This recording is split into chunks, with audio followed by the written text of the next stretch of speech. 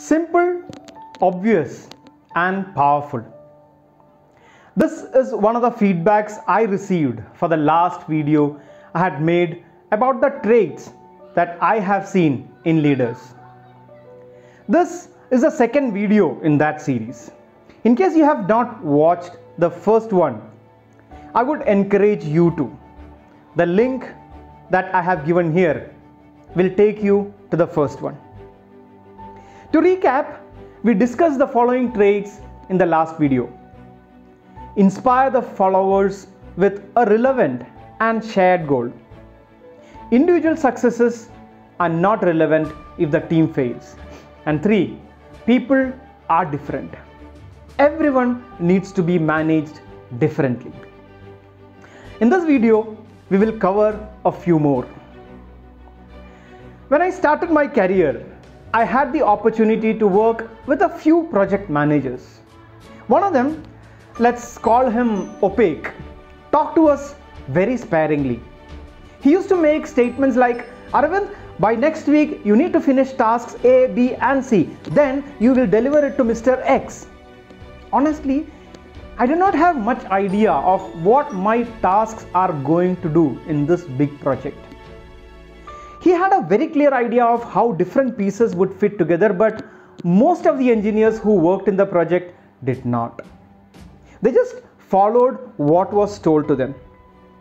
In contrast, there was another project manager who used to give a big picture of the project, how each of the tasks would be done and would contribute to the project as a whole.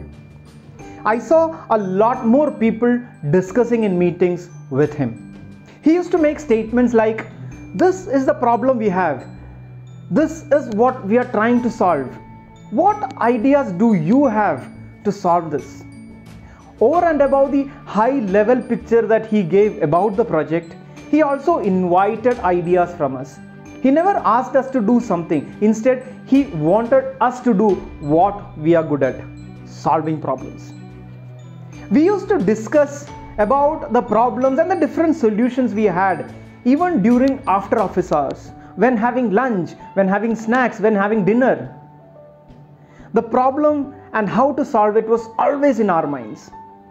So, if you are leading people who you believe are smarter than you, involve them in solving the problems you have. If you feel that you are the smartest in the room, either you are or you don't trust the team. In both the cases, you are in the wrong place. My younger son is a fan of iPhones.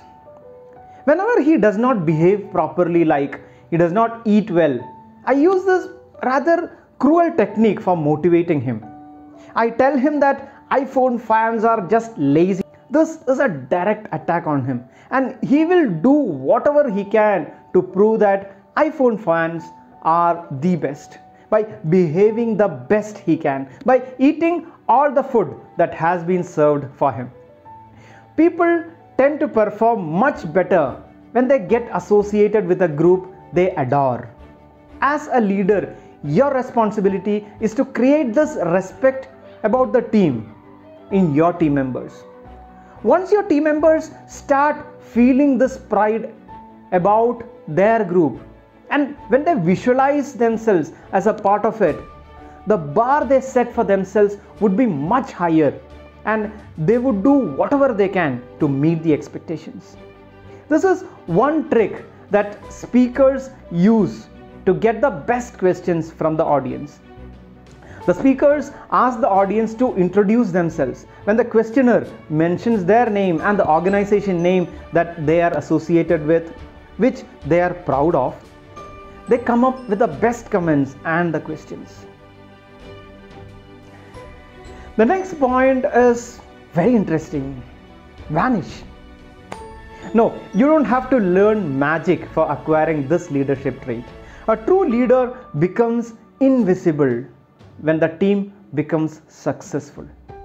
A true leader also would make the team members invisible when the results are not that glorious.